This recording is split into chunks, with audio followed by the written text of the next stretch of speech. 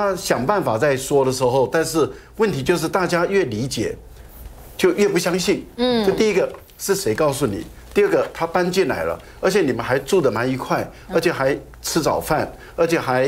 一起回家，而且还一起出门。嗯嗯。哦，然后当问到最后的时候，就说哦，原来这个房子是严女士的，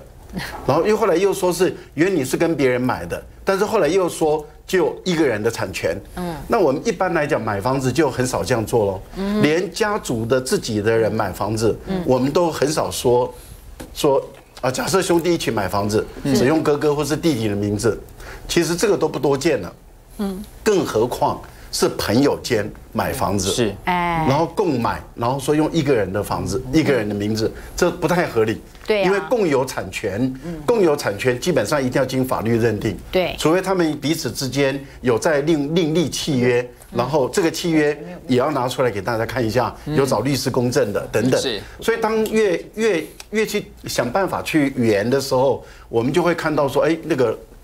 破绽漏洞就越来越多，就有点。怎么样？就没有讲越不清楚，都不起来了。到最后大家都不相信，不相信的时候，我们就呃，到最后就看到说八千块钱贵的时候，这个对我们实践大学的学生来讲，或是对正大的学生来讲，他就受不了了。是，因为在大直这个地方的话，八千块大概只能住在租到地下室。哦，真的哦，以前还可以说住个什么单房、雅房，跟人家共用卫浴的。现在很难，不然不相信那个他那个八千块，如果要出租，我敢保证我们学校。有不少学生会愿意去住，因为他那边也算是市中心，对市中心，而且是新的房子，而且八千块，然后你，所以这个一定是人情价了，但是你又嫌贵，这样对于人家来讲就太伤了。是，不过我我倒觉得我对 NCC 真的有意见了。对对，NCC，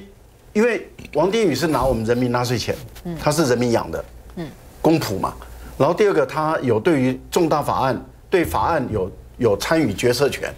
然后他又可以语文之要、机要权，这样的一个政治人物，然后